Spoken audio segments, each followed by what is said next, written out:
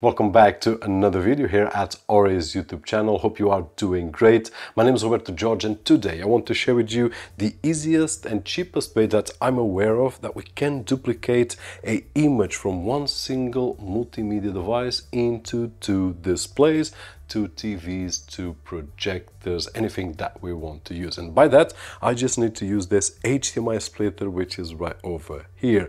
And talking about this HDMI splitter, probably I shouldn't be doing this video because it's so simple to use it that you can go and purchase it with the link that I will leave down below and connect to your device and to your TVs and that is it. But having the risk of complicating something that it's actually really simple, let's go and take a look at some of the interesting details that we can find on this HDMI splitter. So inside the package we'll find the HDMI splitter, a power cable which is USB type A to USB type C and a quick user guide which is really straightforward. And all the info will be also on OREI's website and I will leave the link down below. And this is the package where it comes in. So let's remove this out of the frame. Now just taking a quick look at it we have a HDMI cable that will connect to our multimedia streaming device. It can be an Android TV box or any other device. And then instead of having one output we will have with this HDMI splitter two exactly the same outputs. Output output 1 and output 2.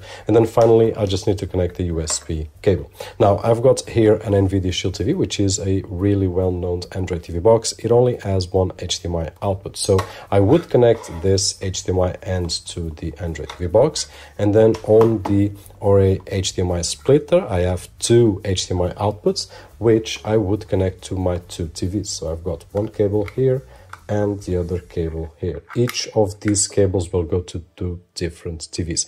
The only thing that I need to do now is to connect the USB cable, which I would use one of these USB-A ports here and then connect the other end here. But let's take a look at a real example. And now with a setup example for the OREI HDMI splitter, which is connected to this Windows 11 mini computer, which is probably not the best uh, streaming multimedia device, but we also have here an NVIDIA Shield TV, which we will connect in just a few moments so that we can see several things, including disconnecting from one device and connecting to another.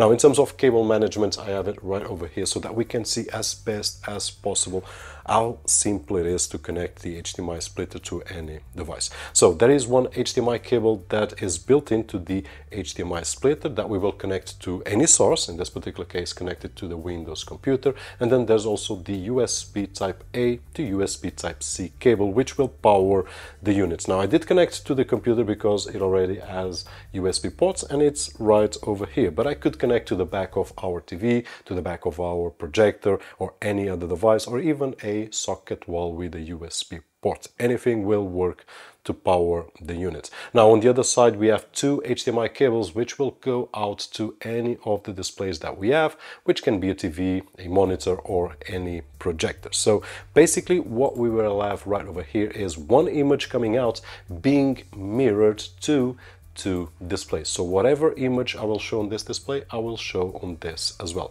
Of course, we are on a setup example here with both displays facing the same area. But for example, if I wanted to have one display on this wall here and the other display on the other side of the wall facing the other side, like a commercial space or a bar, a cafe, a hotel where we want to show a football game or a commercial and we only want to have one streaming device, but we want to multiply by several monitors or TVs, in this particular case multiplying by 2. So this is the best scenario possible. One really interesting feature here among a lot of features that it has is that it will support up to 4K at 60 Hz in terms of input and it will display the image according to what we have downscaling down to 1080 at 30 Hz. And this means that if I have a multimedia device such as this Windows computer here that outputs image up to 4K at 60 Hz, but if my displays only support 1080 at 30 Hz,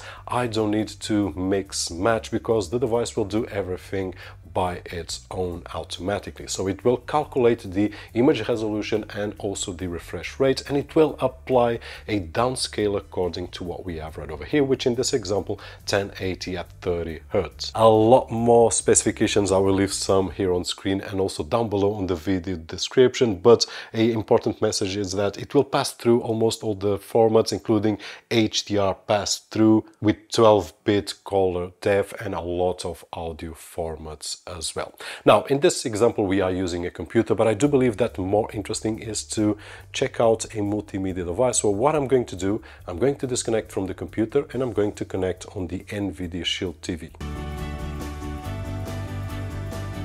So now I've connected to the NVIDIA Shield TV. Once again, we have an HDMI output and I'm also using the USB port on the back of the NVIDIA Shield TV to power the device. Now I could have left uh, the USB type A cable connected to the computer, but I wanted to uh, put it completely aside. So at this moment, the computer is doing nothing. It's just staying there. It doesn't exist. So as uh, I was saying before, so this is one of the examples where I did mention that I did connect the power to the mini computer, but at this moment I'm connecting the USB cable to the NVIDIA Shield TV and it's right over here on the same device, but I could connect on the back of the TV or the projector. Now this is a proper multimedia device right over here, NVIDIA Shield TV. And for example, if I wanted to control this device uh, to put up a TV show, for example, and one of the scenarios or example that comes to my head is football games. Now at this moment I'm not going to put a football game, but if I put on any channel, what happens is that I could show this show to both displays at the same time. And this means that I will save a lot of money because HDMI splitters are a lot more cheaper than multimedia devices. And besides that, besides saving money, I will also save time. And I save time especially because when I know what I'm going to put on my TV, and I just lost the button, I'm not used to this remote control, when I know exactly what I'm going to put, so I will search the channel, I will put on the certain football game, which is not football at this moment, unfortunately, but I, it means that I just need to press the button once. So I did decide on this channel or I did decide on that channel and I know that the second TV, even if I'm not facing the TV, will have exactly the same image as we have on this one, which is really, really awesome. So as we can see, it works beautifully. We have seen other solutions and I'll try to leave some links down below as well because this adapter here is for dual display. So if we are looking for a solution with more than two outputs, there are other solutions available at OREI's website. And it's simple as this. And probably you are wondering, hey Robert, why did you record this video showing something that it's really simple?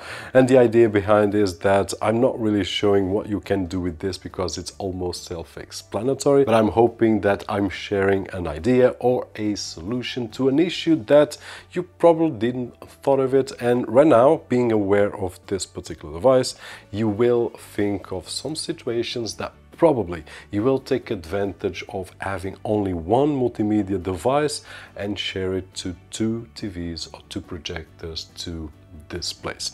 If that was the case, don't forget to leave that thumbs up right over there, which is really appreciated on this side of the screen. And if you still have any questions or any doubts, don't hesitate to leave a comment down below or even contacting OREI support email that I will leave down below. If you still haven't subscribed to the channel, please consider doing it so, so that you can keep on receiving news and tips such as this. My name is Roberto George, and as always, I'll see you on the next one.